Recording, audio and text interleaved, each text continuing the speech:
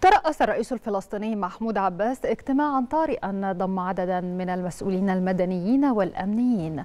وخلال الاجتماع وجه الرئيس الفلسطيني بضرورة توفير الحماية لأبناء الشعب الفلسطيني مؤكدا على حق الشعب الفلسطيني في الدفاع عن نفسه في مواجهة إرهاب المستوطنين وقوة الاحتلال.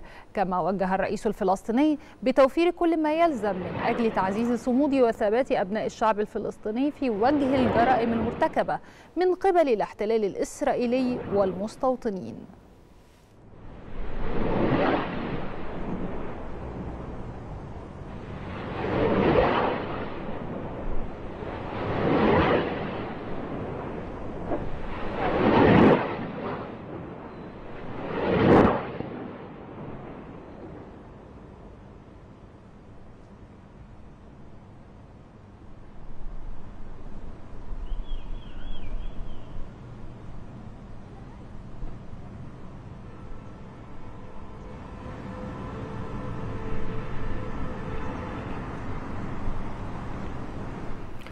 استشهد مواطن فلسطيني وأصيب آخرون في قصف إسرائيلي استهدف المستشفى الإندونيسي في بلدة بيت لاهيا شمال قطاع غزة.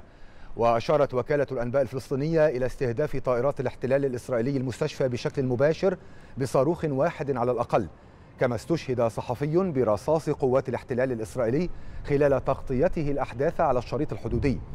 يأتي ذلك فيما استشهد فلسطينيان اثنان وأصيب خمسة آخرون بجروح برصاص قوات الاحتلال الإسرائيلي شرق مخيم البريج وسط القطاع. هذا وكانت الفصائل الفلسطينية قد أعلنت عن إطلاق مئات الصواريخ باتجاه إسرائيل والمستوطنات المحيطة بغزة.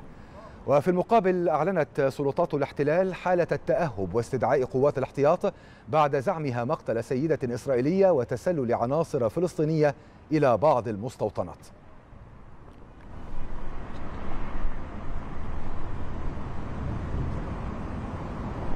أطلق مستوطنون إسرائيليون الرصاص الحي تجاه مركبات المواطنين الفلسطينيين على طريق المعرجات الرابط بين مدينتي رام الله وأريحة. وأفادت وكالة الأنباء الفلسطينية بأن قوات الاحتلال الإسرائيلي أغلقت حاجل حاجز تياسير والحمراء العسكريين بالأغوار الشمالية أمام الفلسطينيين فضلا عن إغلاق عدة طرق من منطقة سلفات من بينهما المدخل الشمالي للمدينة وإغلاق المداخل المحيطة بمدينة القدس المحتلة.